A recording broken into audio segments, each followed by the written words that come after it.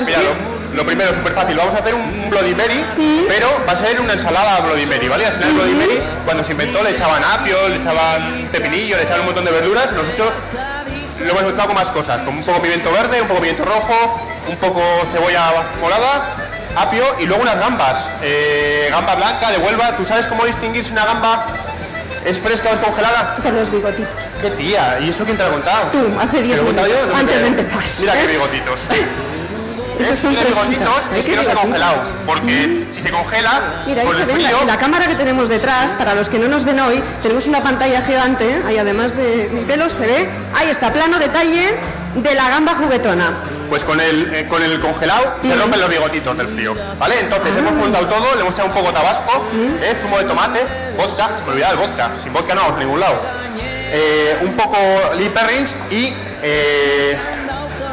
manzanilla, ¿vale? Un poquito manzanilla. Ahí, bien de vodka. ¿Dónde está la manzanilla? La manzanilla es esto, manzanilla de beber, ¿eh? Manzanilla de Sanlúcar, ¿vale?